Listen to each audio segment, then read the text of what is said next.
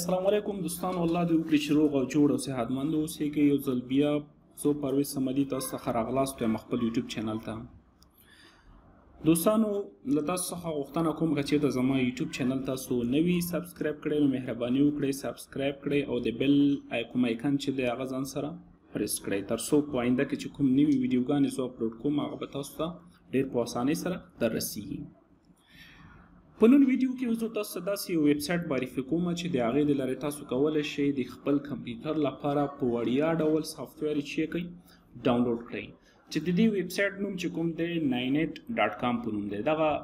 ناینټ ډاټ کام به ولیکئ خپل براوزر کې انتر به یې کوي نو دغه کوم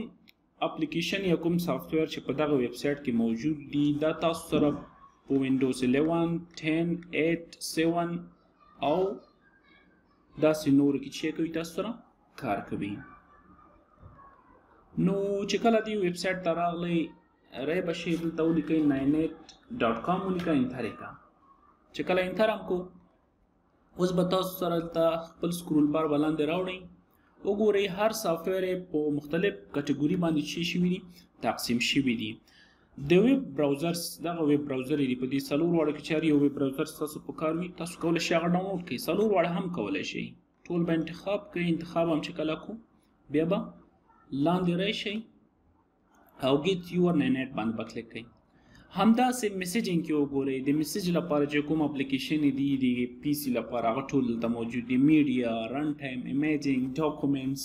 فایل شیرینګ ادر کمپریشنز او همداسې ډیولپر ټولز چې کوم دی هغه سافټویر مثلا چې په هغه کې مثلا کوډینګ کیږي هغه یا مثلا کوم انټي وایرس چې وي نو تاسو کولای شئ دلته هر یو سافټویر چې وغواړئ هغه به ټول انتخاب کړئ چې کله مې انتخاب کو او بیا به لاندې راشئ او دلته به ګیټ یور نینټ باندې کلیک کړئ لږ به صبر وکړئ نو اوس به ستاسو ډاونلوډ شي شي سټارټ به شي زه به ورته انتخاب کړئ په کوم ځای کې سیب کول غواړئ فار ایگزامپل زه ورته ډیسکټاپ انتخابوم او دلته به تاسو چې کلیک کړئ سیب به کلیک کړئ او ډاونلوډ به چې کړئ سټارټ به کړئ اوفن فایل کلیک کړه نو وګوره نینټ راغی دی باندې به ډبل کلیک کړئ رقبه صبر ورته وکړئ نو تاسو سره به دا ډاونلوډ شي وي سټارټ به وي په بګراوند کې به تاسو سره ډاونلوډ سټارټ کیږي د دې دا به چې کوي یس به کوي اوس وګوره کوم سافټویر چې موږ انتخاب کړو هغه موږ سره د شي شروع شو ډاونلوډ موږ سره شروع شو نو الله دې وکړي چې دغه ویډیو تاسو خوښه شوي وي او که چیرته مثلا تاسو دا ویډیو خوښه شوي وي نو له تاسو څخه هیله کوم چې زما دغه ویډیو چې دا د خپل دوستانو سره شي کوي شریک کړئ